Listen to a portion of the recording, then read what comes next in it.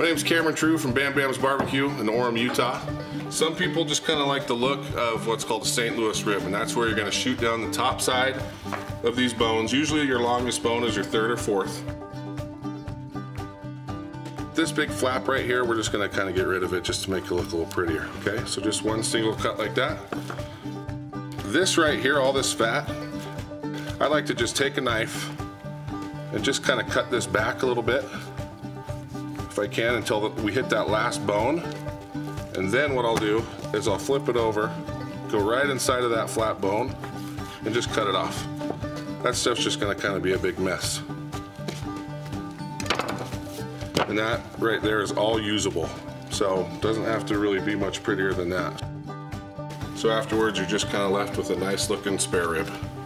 St. Louis cut.